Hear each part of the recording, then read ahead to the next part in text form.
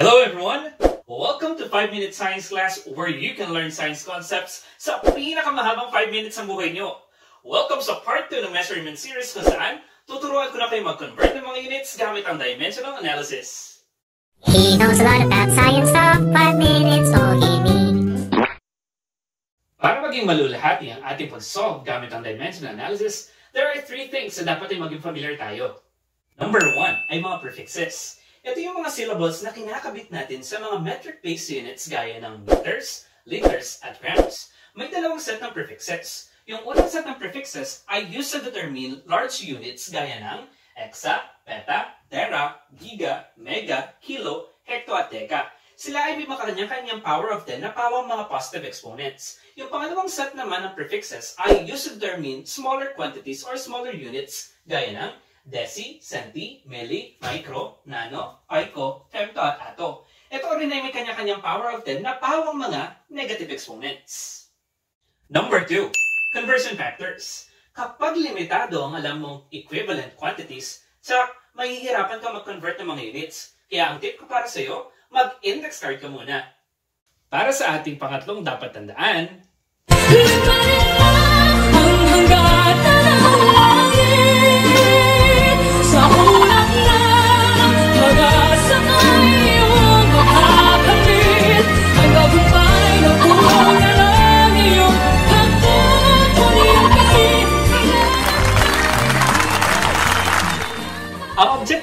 natin ay ma-remove lahat ng unwanted units at marating ang desired unit. Kaya ang ating general formula ay A times B over A. Makakancel natin yung A at mararating natin ang ating desired unit. Gusto mo yun? Gusto ko yan!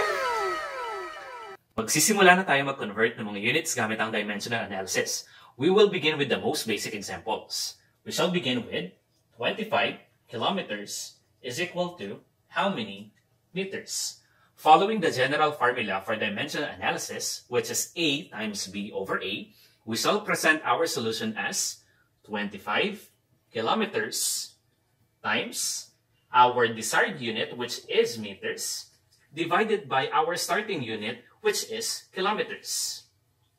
Sa pag-iisip at pagpili ng tamang conversion factors involving prefixes, may tip ako para sa inyo. Number one, tanungin nyo lang inyong sarili kung alin sa mga units na meron ka ang mas malaki ang value.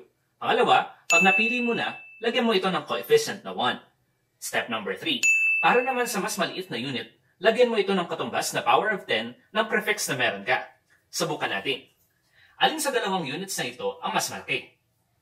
Correct, si kilometers. Lagyan natin siya ng coefficient na 1. At dahil mas maliit ang unit na meters, lagyan natin siya ng katumbas na power of 10 ng prefix na meron tayo. Dahil ang prefix na meron tayo ay si kilometers, kilo, ang katumbas na power of 10 nito ay 10 raised to the power of 3. Ilagay natin kay meters. Ayan, meron na tayong conversion factor. 1 kilometer is equal to 10 raised to 3 meters. Next step, cancel all the unwanted units. Ito yung step na tinuturing kong pangmatalinong galawan kasi malapit mo nang masagutan yung problem. Kaya dapat with feelings sa pagka-cancel para ramdam na ramdam mo ang tagumpay. Cancel, cancel. Ayan, matitira na lang sa'yo yung unit na gusto mo. Perform na lang natin ang indicated operation. 25 times 10 raised to 3 divided by 1. It is equal to 25 times 10 raised to 3, ang natirang unit, meters. Or in standard notation, ang ating answer is 25,000 meters. Gets nyo? Let's have the second example. 25 kilometers is equal to how many decameters? This is another example of unit conversion involving prefixes. Ask yourselves, meron bang direktang relasyon sina kilometers at decameters? Wala no? Pero okay lang yun. Kung walang relasyon, didiskartehan natin. Dahil ang base unit ng kilometers at decameters ay meters, siya ang magsisilbing tulay sa pagtatagpo ni na kilometers at decameters. Bali si kilometers, i-relate natin kay meters. At si meters naman, i-relate natin kay decameters. Subukan natin ha.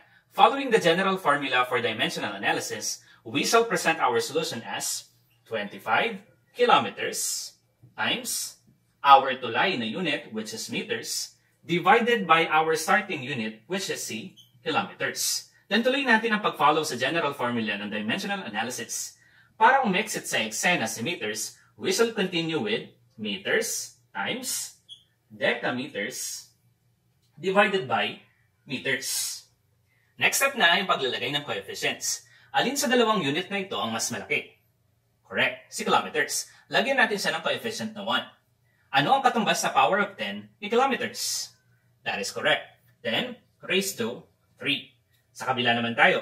Alin sa dalawang unit na ito ang mas malaki? That is correct. Decameters. Kaya lalagyan natin siya ng coefficient na 1. Ano ang katumbas na power of 10 ni deca? Okay, that is correct.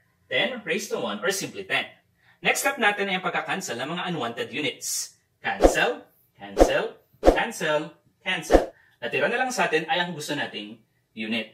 Ang gagawin na lang natin, multiply all the numerators, multiply all the denominators, then simply divide. We will have 25 times 10 raised to 3 times 1 is equal to 25 times 10 raised to 3 decameters divided by 1 times 10. Kung wala tayong calculator, solve natin to manually. 25 divided by 1 is 25. Copy the base times 10. Rule of scientific notation involving division, 3 minus 1 is equal to 2. So we'll have 25 times 10 raised to 2 decameters. Or that is equal to 2,500 decameters. Let's have our third example. 25,000 centimeters is equal to how many meters? Ito, medyo madali lang kasi may direktang relasyon sina centimeters at meters. Solve natin.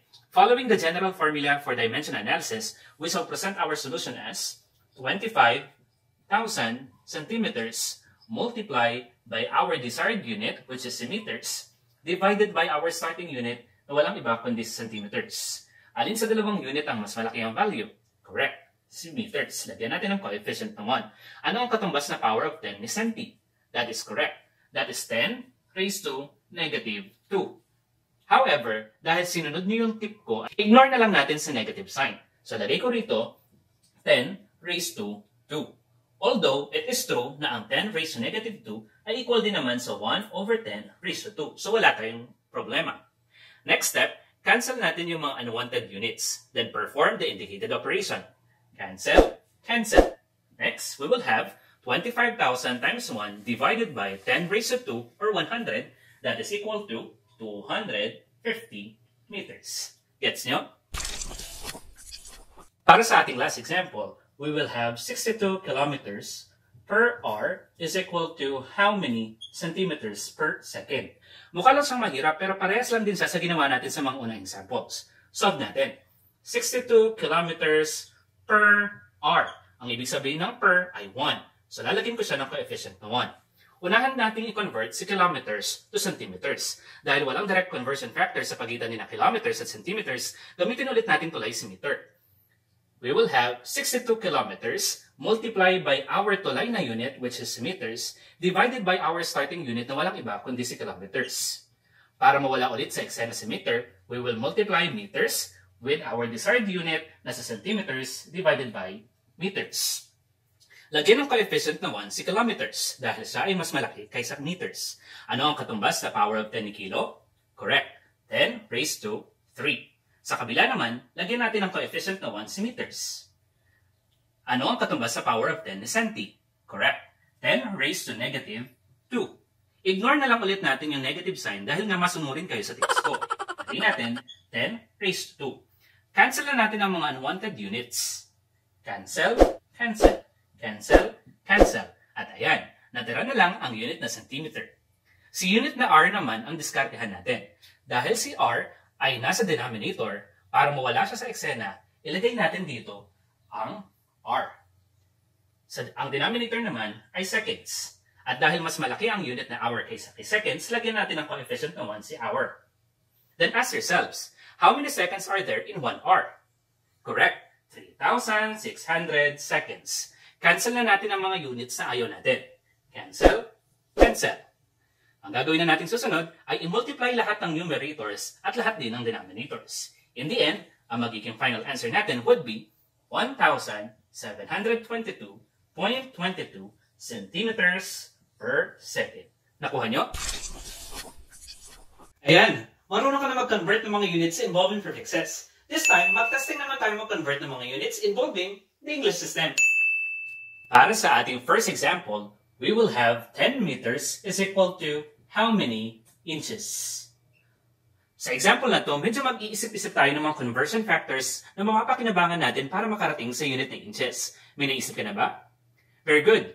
Buti na lang naisip mo na 1 meter is equal to 100 centimeters at ang isang inch is equal to 2.54 centimeters. Presenta natin ang solusyon.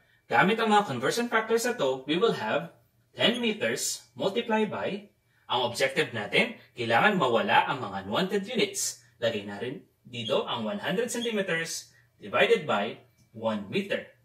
Lagay natin dito ang 1 inch divided by 2.54 centimeters.